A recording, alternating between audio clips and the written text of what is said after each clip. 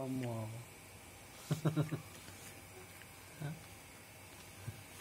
hello, hello po sa inyo mga guys. Uh, welcome po sa YouTube channel account namin. And this time guys, uh, meron tayong mabuksan na item kapalit nito. So alam nyo na, ibig sabihin ko. So kung bago kayo guys sa channel namin, huwag nyo kalimutan mag-subscribe. Pakiclick po yung notification bell and kung may pagkakataon po, makishare na lang and like. Bigyan nyo ng thumbs up yung video natin. So this time, kailangan niya ng replacement. So, kung hindi siya makuha sa linis, so tingnan natin yung ipinalit. So, umorder tayo as usual sa online store. So, tingnan natin naman ito. So, dalawa siya guys. Pakita ko sa inyo ha. Taran! So, tingnan natin yung difference ng dalawa. Uh, almost same yung design pero parang nagkaiba sa kulay. Check natin.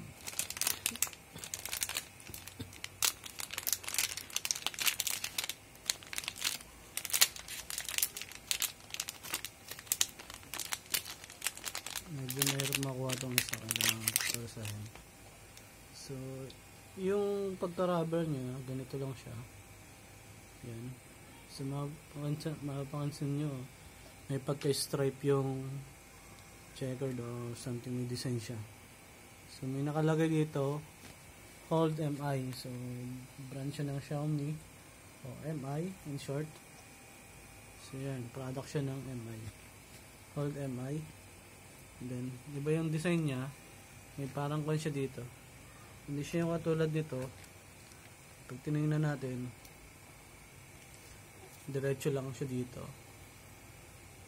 So, ito, parang something dito. Sa likod yan pinapasok. So, sabi niya, sa likod daw pinapasok. So, tingnan natin tong isa.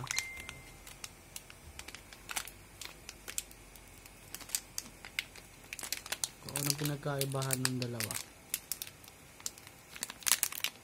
Hindi ko makita guys yung ano. Ayan. Kunin natin guys. So, yan. So, gray naman ang kulay nito isa. Light gray. So, yan. Usual, meron siyang brand dito. Ganon din yung design niya. Pinagkaibahan lang is itong isa is black. So, try natin ilagay itong black.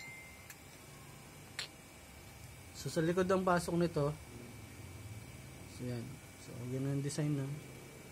Yan natin guys. Yan. Mas madali siyang ipasok. Kumpara dito na talagang klamong percent. So ito, pinasok lang ng ganun. So yan. So tingnan natin guys, isukat ko.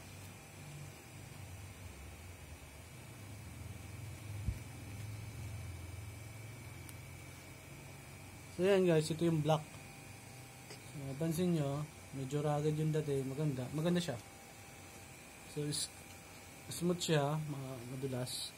Ito, medyo hindi. So, yan. Try natin ilagay yung gray.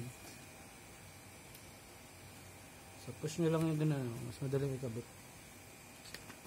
So, ito. Pasok nyo lang dun, oh. Yan. Yan.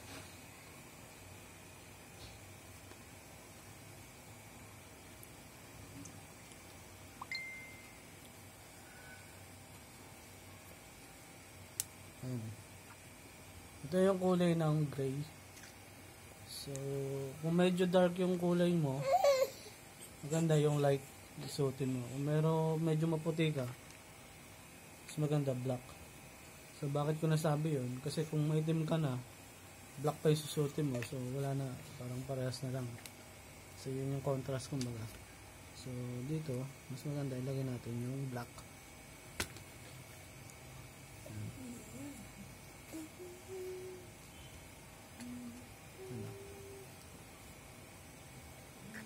Wala naman discrimination sa sinabi ko.